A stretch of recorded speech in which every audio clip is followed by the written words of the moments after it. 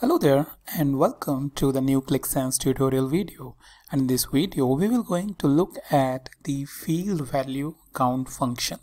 So field value count function is very helpful in scenarios where you want to know the unique values present in a particular field.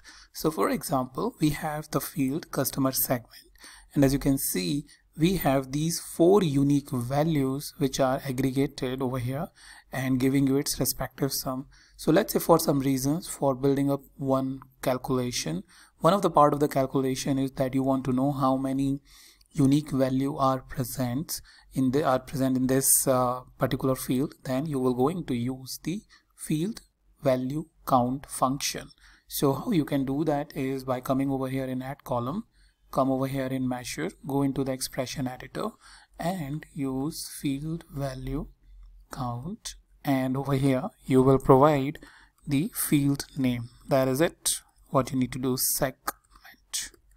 And it will return the number of unique values in this field like this. For example you may want to know how many countries you are selling it or how many products unique products that you have or how many unique quantities things like that that you may want to know from uh, as part of the overall logic building then field value count becomes uh, re become really helpful. And since uh, it is it is being pre-created by the Qlik Sense you don't have to apply any particular logic or something like uh, uh, distinct keyword or things like that which is very resource heavy and sometimes give you um, sometimes you can use it but when you are building a huge dashboard then it can give you the performance issue.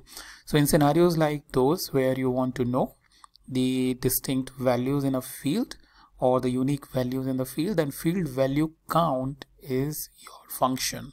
So that's about it and I'll meet you in the new video with the new topic